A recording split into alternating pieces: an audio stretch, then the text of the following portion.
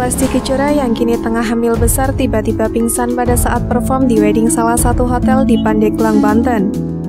Lesti tampak digendong Rizky Bilar saat pingsan. Awalnya Lesti Kejora tampak ceria saat bernyanyi menjadi bintang tamu di acara wedding tersebut. Tetapi tak lama kemudian Lesti yang jatuh pingsan digendong oleh suami Siaga. Seperti apa potret Lesti Kejora pingsan hingga digendong Rizky Bilar?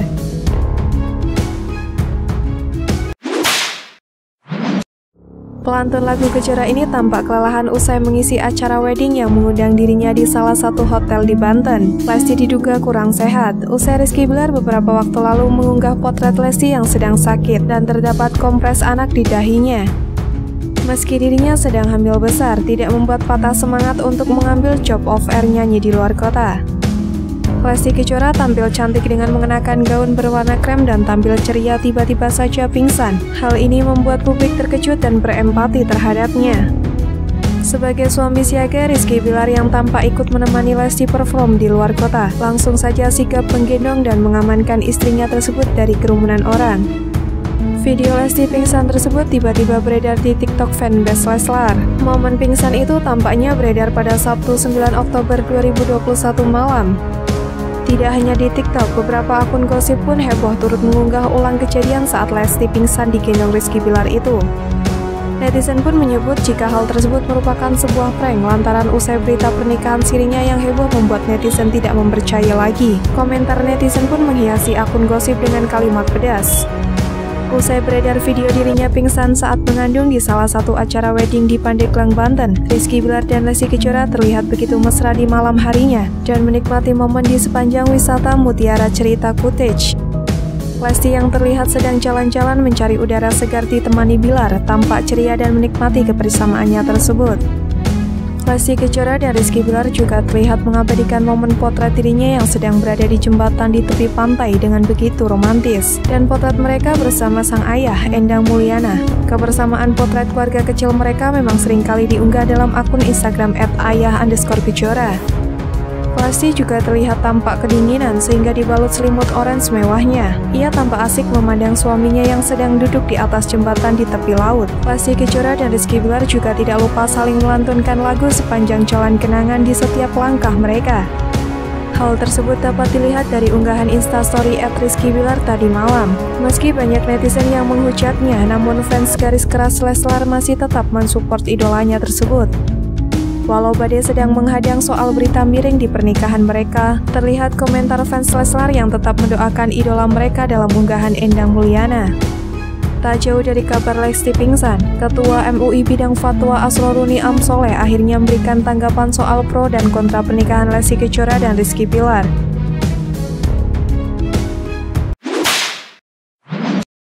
Asroruni Amsoleh dengan tegas menyebutkan bahwa Lesti Kejora dan Rizky Bilar tak melakukan pembohongan publik.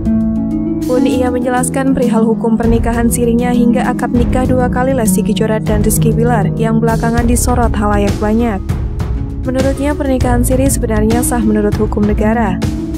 Nikah siri dalam artian pelaksanaan akad nikah yang dipenuhi syarat dan rukun pernikahan, tetapi belum dicatatkan secara kenegaraan. Itu hukumnya sah.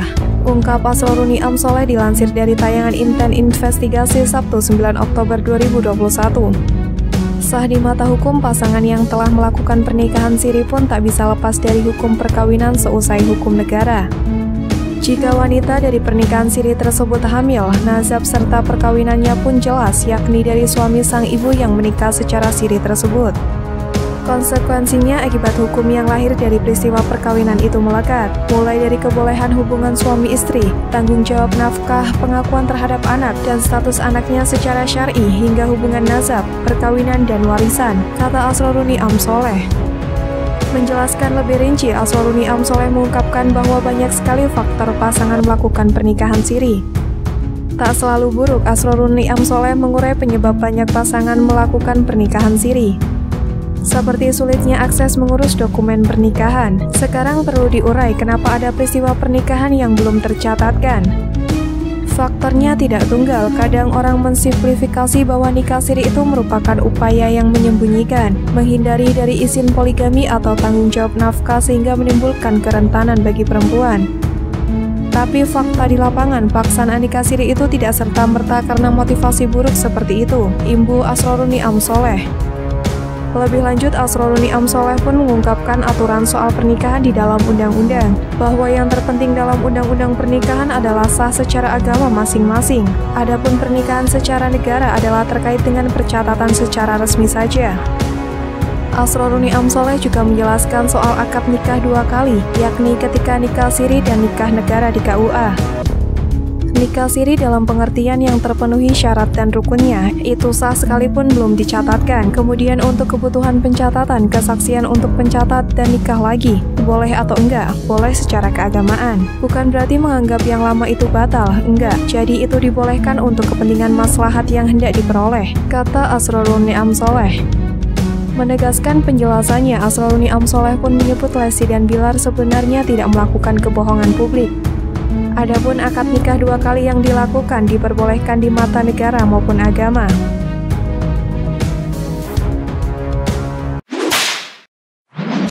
Sebagaimana diketahui, usai Rizky Bilar membeberkan pernikahan sirinya dengan Lesti Kejora, tak sedikit yang menganggap kedua pasangan ini telah berbohong. Bahkan keduanya dianggap telah mengacak-ngacak hukum syariat Islam hingga akan dipidanakan oleh beberapa oknum. Menanggapi hal tersebut, salah satu MC yang membawakan serangkaian acara pernikahan Lesti Kejora turut angkat bicara. Ditambahkan dari Kompas.com, Senin 4 Oktober 2021, Indra Bekti mengaku prihatin dengan segala ancaman yang ditudingkan pada Lesti Kejora. Aku juga prihatin kalau misalkan memang ternyata ada yang mau lihat mereka itu dipolisikan, ujar Indra Bekti. Ya mungkin dari sudut pandang dia melaporkan ini, ini ada yang salah. Tapi mungkin ada sudut pandang yang berbeda. Imbuh Indra Bekti pada 4 Oktober 2021 seperti yang dikutip dari kanal YouTube Hits Infotainment. Selain itu, ia juga berharap laporan itu tidak sampai menyeret mereka ke meja hijau.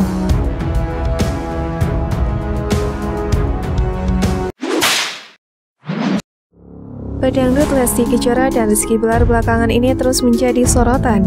Hal ini lantaran kabar kehamilan Lesti. Awalnya sejumlah masyarakat mengira Lesti Kejora hamil di luar nikah. Dugaan hamil di luar nikah ramai diperbincangkan lantaran kondisi perut Lesti saat menggunakan gaun pernikahan.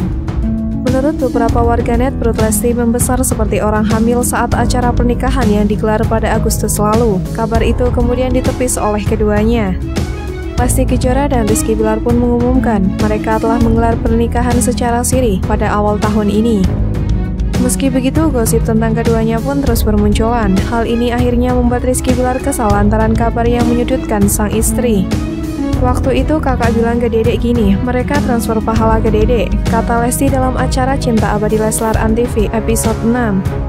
Awalnya kakak biasa aja, tapi lama-lama didiemin kok didiemin malah menjadi, kata Rizky Bilar. Mendengar itu, Lesti Kejora memilih untuk tidak menanggapi nyinyiran para netizen. Hal ini lantaran jika dirinya terus melakukan pembelaan akan terus dianggap salah oleh netizen. Udah biarin aja, orang ngomong gimana-gimana kakak nggak usah. Karena kalau kita apa yang tanggepin ngejelasin sebenar-benarnya ke orang mah, kita manusia nggak ada habis-habisnya. Pasti akan begitu-begitu terus. Udah biarin aja, kata Lesti Kejora. Lebih lanjut, Lesti Kejora tidak peduli dengan komentar netizen. Dirinya menganggap cukup orang tua dan Tuhan yang tahu kebenarannya. Yang penting kita udah di jalan yang benar, di koridor yang benar. Orang tua tahu, yang punya kita di atas tahu ya udah itu aja. Santai kalau kata Pak Haji Roma Irama, kata Lesti Kejora.